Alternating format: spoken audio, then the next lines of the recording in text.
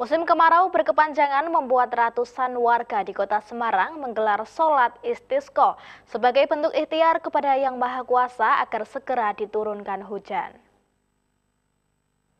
Sholat istisqo atau sholat meminta turun hujan digelar di lapangan Kedung Pane, Kecamatan Mijen, Kota Semarang pada Rabu pagi.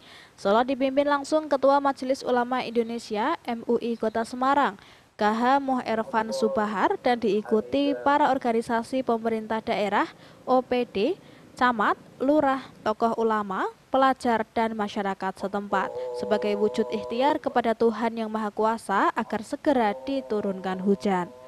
Mengingat cuaca panas yang hingga saat ini masih melanda kota Semarang dan berdampak pada terjadinya kasus kebakaran, yang salah satunya terjadi di TPA Jatibarang yang hingga saat ini masih dilakukan proses pendinginan.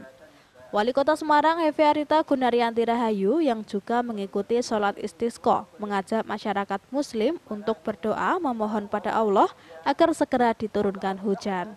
Eh, salah satu upaya bagaimana uh, kota Semarang khususnya di wilayah daerah Mijen yang ada TPA Jatibarang ini bisa segera diberi hujan oleh Allah Subhanahu wa taala.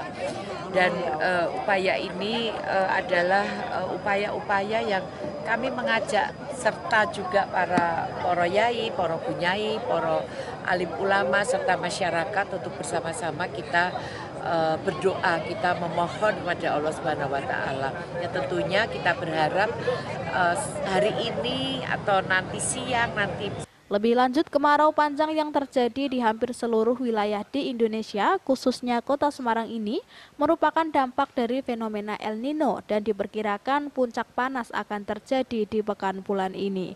Valentania, Semarang TV.